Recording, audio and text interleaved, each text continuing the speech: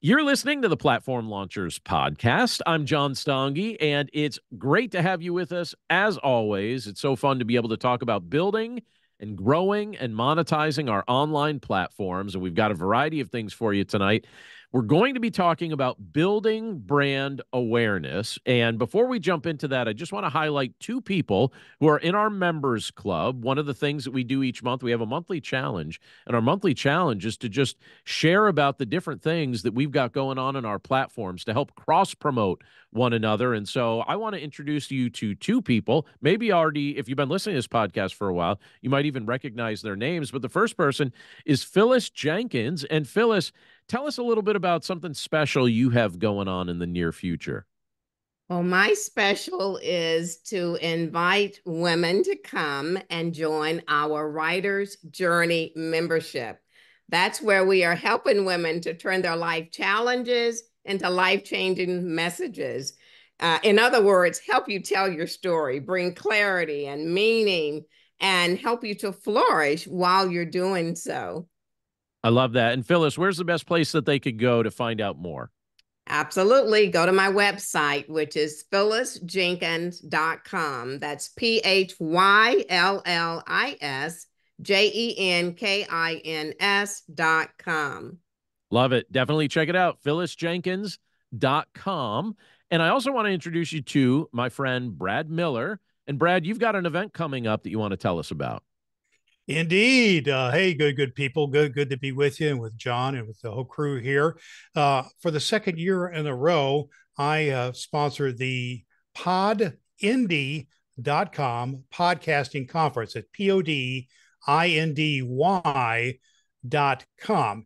It is a live, in person, and virtual podcasting conference. This year, our theme is to profit from your podcast enhanced by AI. And our keynote speaker is Hall of Fame podcaster Dave Jackson. He's going to, our whole theme will be helping people build a business around your podcast enhanced by AI. It is November 9th, live and in person in Indianapolis, Indiana. If you're nearby, come see us. But we also have a virtual ticket for only $27. And if you put in the code John, You'll get 15% off. We'd love to see you. I'm Brad Miller. You can find this conference at podindy.com, P O D I N D Y.com. All right, Brad, thanks for sharing that with us. And uh, please take advantage of that that code as well. Code John, J O H N. All That's right, it. friends. That, very good, very good. Well, in just a moment here, we're going to be talking about this idea of uh, building brand awareness. And this is something that that i think a lot of people think about at least to some degree. Now i recently had a conversation with my wife about this and uh, we were just talking about brand awareness and here's how this came up she was attending a conference on behalf of an organization that she's part of and at this conference she she thought that most people would be well aware of the organization but she quickly came to realize that many people in attendance were not familiar with the organization that she represented. And so she asked me, we were actually talking about this while we were driving in the car just recently. She asked me if I had any suggestions on how that could be improved, how awareness of the name of the organization, how brand awareness could be built on behalf of the organization. And I have to tell you, brand awareness is something I think about frequently. I remember a group of years ago, I would hear people talk about it, and I wondered to myself, is that just a trendy thought? Is that something that people are going to be talking about very much, or is that just something that I don't know, for a little while people are talking about and then they'll then they'll be talking about something else. But I've learned it's very important. It's important for those of us that are building online platforms. It's important if you're if you're attempting to build a business of any kind. And I have to tell you as someone who leads multiple online platforms. So I have two primary online platforms and as someone who is training others to do the same to lead their own platforms, I have learned that building brand awareness is absolutely a concept worth investing time and intentional effort in. Now, little backstory here several years ago when I started Platform Launchers, I knew it was important for me to make this a recognizable brand online. If I if this was going to be something that actually connected with people, people needed to be aware of it. I needed to be intentional about that. A year and a half ago, I when I launched Bible Study Headquarters, that's my faith-based website, um, I knew that the same was true. That when I launched that, I needed to take the same approach that I utilized when building platform launchers. And so, what I thought we would do for this week's podcast is that I would just simply offer an overview of how I've been making each platform a recognizable brand in its respective space. And the way I'm going to do this, I'm going to I'm going to start broad and I'm going to give you an overall picture and then I'm going to bullet point kind of a checklist of some things to do. So here's really what it comes down to. In general, when we're talking about building brand awareness, it always comes back to serving an audience. Hear me on that. It always comes back to serving an audience. The primary reason anyone is going to search for or access or utilize my content or your content is if it effectively meets a need. It has to meet a need. So in my case, my platforms are only relevant if they remain helpful. So I'm always asking the question what needs am I best equipped to meet? I also ask, is there a way that I can help others that uh, that really other people aren't adequately offering help? And so I look for those opportunities. I think, all right, what needs am I best equipped to meet? Is there a way I could be helping people that other people haven't really thought of or don't seem to be doing well if they're doing it at all? And I ask these questions to help me develop various forms of content. I also ask these questions to help me decide on various services that I might be able to offer. But I also, at the same time I'm doing that, I want people to become familiar with my brands. So my two primary brands are platform launchers and Bible study headquarters. Those are the two things that I'm focused on. So, what I'm doing, and this is just a broad overview, I'm going to get more specific in a moment. What I what I do is I intentionally attempt to show up in various places.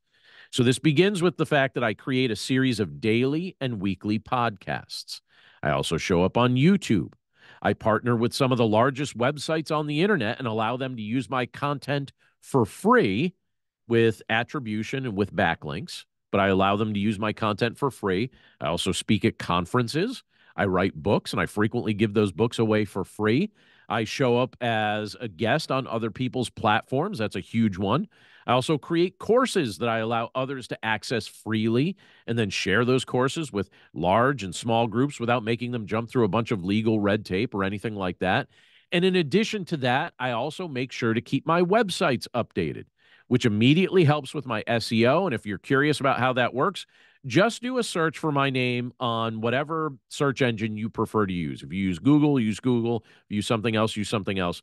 But just do a search for my name or the names of my online platforms. So if you do a search for John Stange, if you can figure out how to spell my name, most people get it wrong. Uh, but just search for my name or you could search for platform launchers, or you could search for Bible study headquarters. And by the way, if you're in front of a computer, I'd actually encourage you to test this out. Just give it a try so you could actually see what I'm talking about. But this is what you're going to see if you actually choose to do that. If you actually type any one of those three things into a search engine, you will see that my sites are indexed, that they appear at the top of the search results, and that many of the sub pages are listed as well. And here's how that came to be my choice to be helpful, prolific, consistent, and show up wherever the doors open has resulted in ongoing brand awareness that continues to expand. And I've really enjoyed watching that grow. Brand awareness can contribute to something else in addition to that. It's not just indexing and search engine engines and things like that. It also it also contributes to momentum. Brand awareness contributes to momentum. Once you build awareness for your brand, that awareness has the potential to grow exponentially, far beyond your initial efforts. So, in some ways, it actually feels like that awareness takes on a life of its own as the content you've created sometimes months ago, sometimes years ago, it continues to drive people to your platform. So, that's the overview I wanted to start off with here. But now I want to get practical.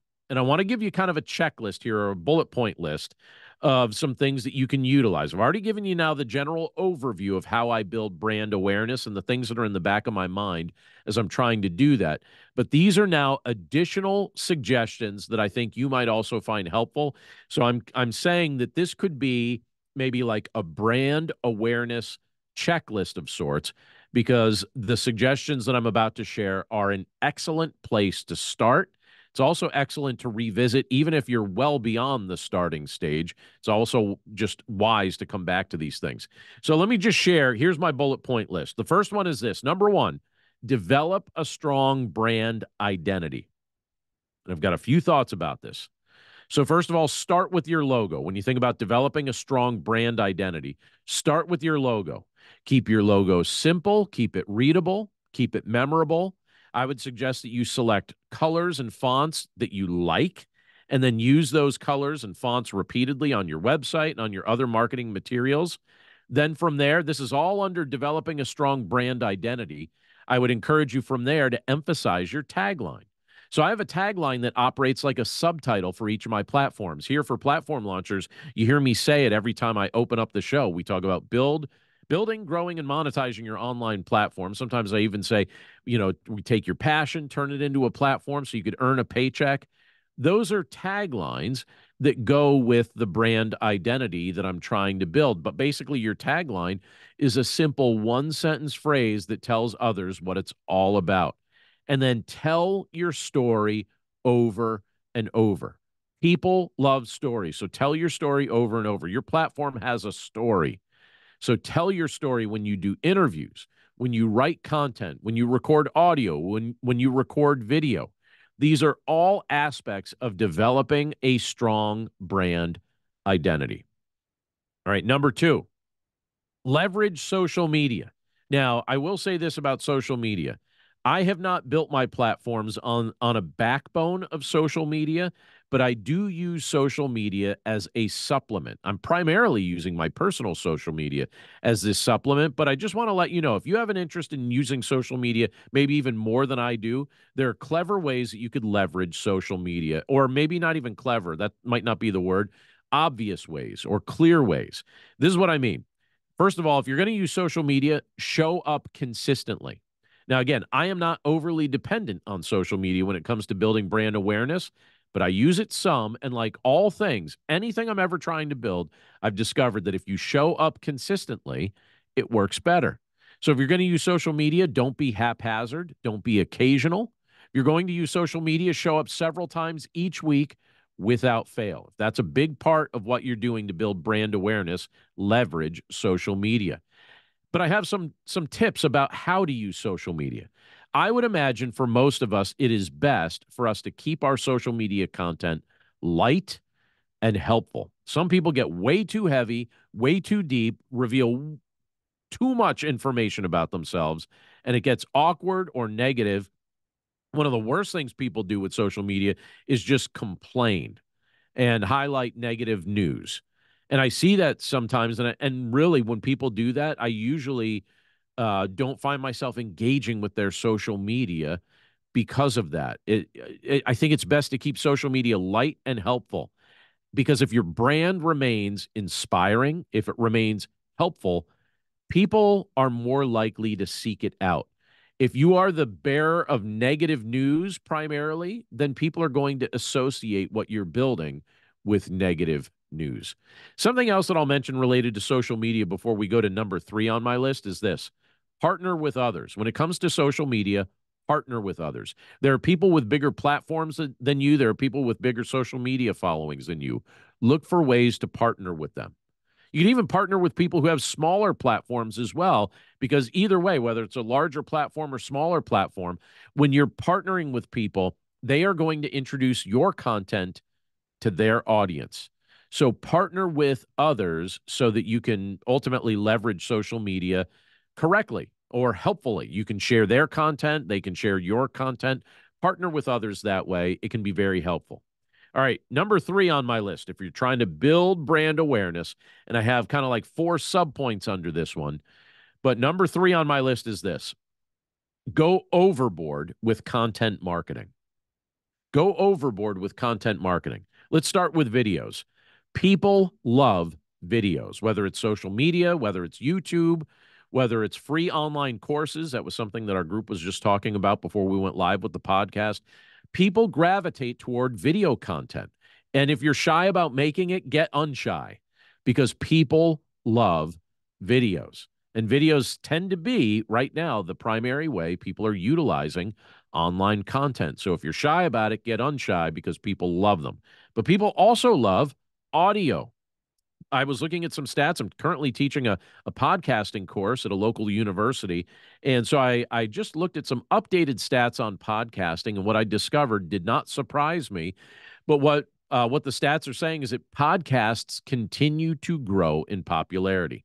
And studies are showing that podcasters are now some of the most trusted voices in almost every subject area.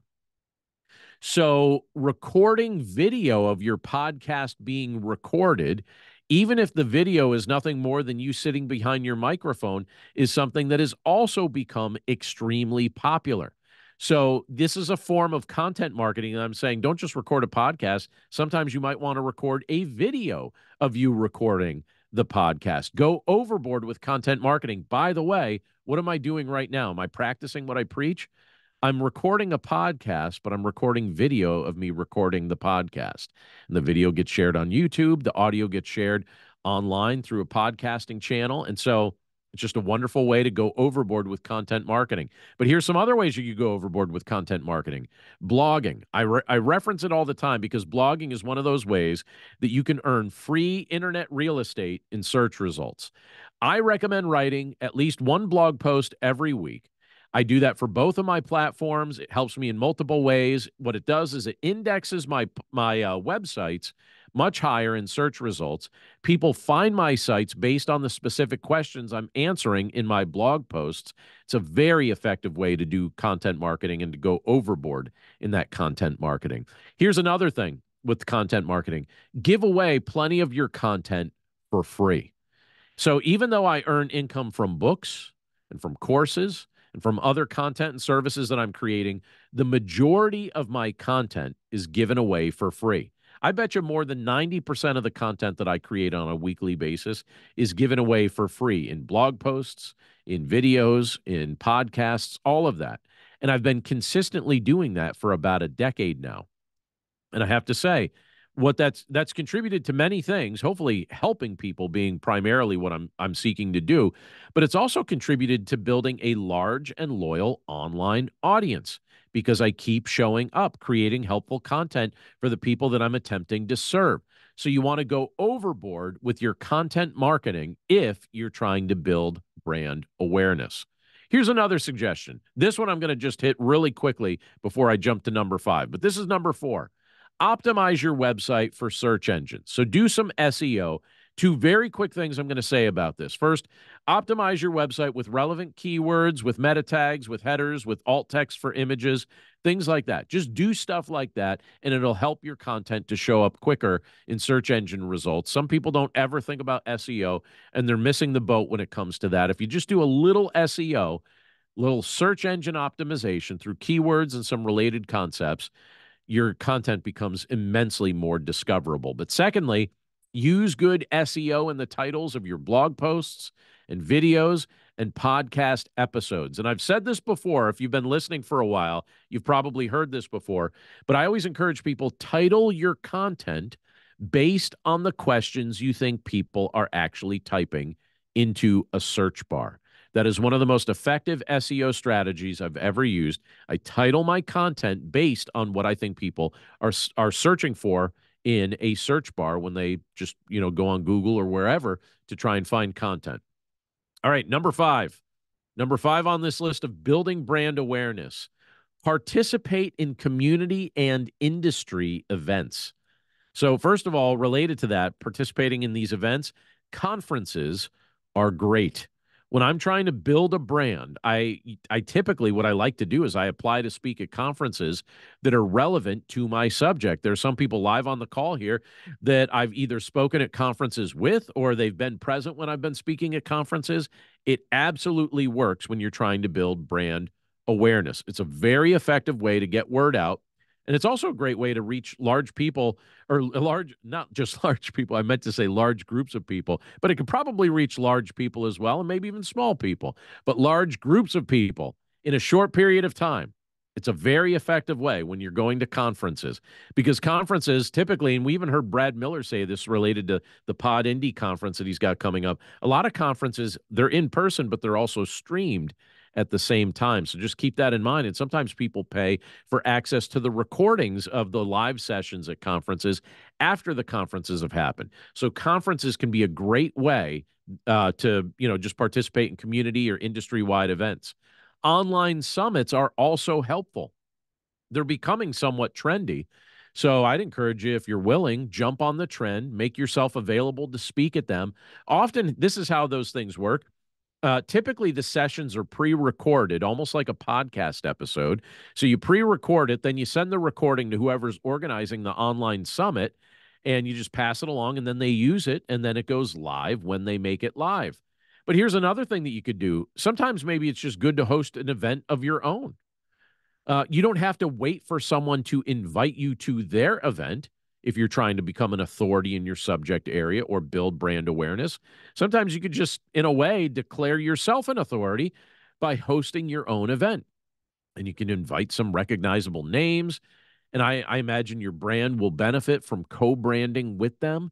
So, just kind of an interesting way to build some brand awareness by participating in different community or industry events. All right, number six on my list is this collaborate with other brands little bit longer of um, of a show this week, but I want to include all these thoughts in building brand awareness and collaborating with other brands is definitely an effective way to build brand awareness for what you're building. Brand partnerships can be a win-win. So partnering with a, a more recognizable brand, it could actually be one of the most just one of the fastest ways to spread word about your brand. And it might also help the other brand, particularly if they are interested in serving your tribe. So do a brand partnership, partner with another brand, make it a win win that way. Here's another thing, and I love doing this when it comes to collaboration create free content that you allow other platforms to use. Some people would never consider doing this, and I think they're missing the boat. I'm encouraging us, all of us, don't be selfish with your content. Let other people use it. One of my most effective collaborations is with a very recognizable brand that republishes my weekly blog posts on their website. I'll get more specific. I, I create a weekly blog post every week at BibleStudyHeadquarters.com. Christianity.com is one of the major faith websites on the internet and they republish my content every single week on their website. In fact, as I'm recording this earlier today, I got a um, an email from my editor at Christianity.com. Uh, just letting me know that this week's podcast or this week's blog post, I should say, from my website at BibleStudyHeadquarters.com is now appearing at Christianity.com. And this is what they do they change the titles of my posts to meet their audience's needs, but they leave the main content unchanged. So it'll be the same post with two different titles, one on my site, one on their site. And at the end of the post, they always state that the content came from my platform and it's being used with permission, and they include a backlink back to my website. So I'm not being stingy with content I've created. I'm letting them use it for free. It benefits their website, but it also benefits what I'm building online. All right, two more it's kind of a long list tonight, but we're talking about building brand awareness. Here's another thing another way we could build brand awareness leverage email marketing. Leverage email marketing. Build your list with free content.